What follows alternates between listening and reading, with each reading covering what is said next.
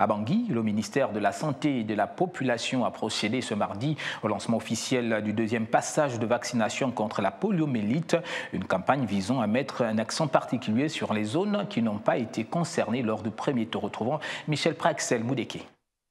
21 districts sanitaires sont concernés par cette campagne de vaccination contre la poliomyélite en Centrafrique. Une opération lancée ce mardi par Pierre Samsé, ministre de la Santé et de la Population du pays. Il s'agira alors de privilégier toutes les zones non vaccinées ou mal vaccinées lors du premier tour, afin qu'aucun enfant de la population cible âgé de 0 à 59 mois ne soit oublié. Pour le numéro 1 de la santé, la mobilisation de ses partenaires qui luttent contre cette maladie à leur côté permettra à plus de 800 000 enfants de se faire vacciner. Il a également exhorté les parents, les autorités locales et ecclésiastiques à soutenir cette activité.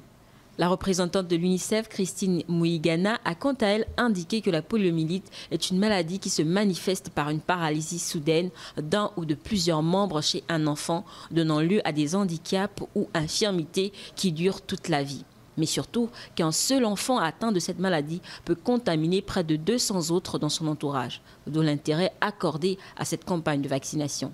In fine, le patron du département santé en Centrafrique a indiqué, je cite, La vaccination est un droit pour chaque enfant et un droit pour les parents qui ne devraient déroger à cette obligation sous aucun prétexte. Fin de citation.